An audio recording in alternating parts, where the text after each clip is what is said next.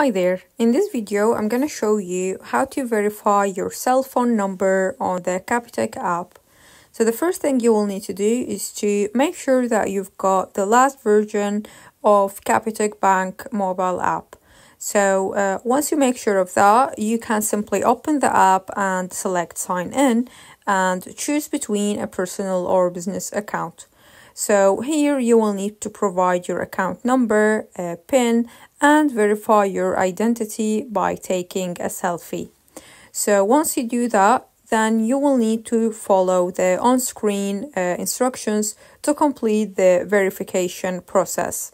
Once you are done, uh, you will have access to the app's full uh, functionality.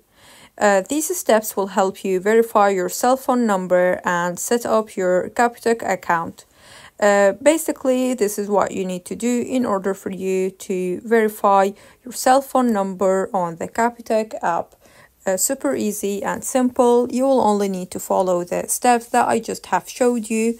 The most important thing though is to have the updated version of the app. So make sure of that by going to your app store uh, and uh, making sure, sure that there are no updates for you to download. So basically that's it, super easy and simple.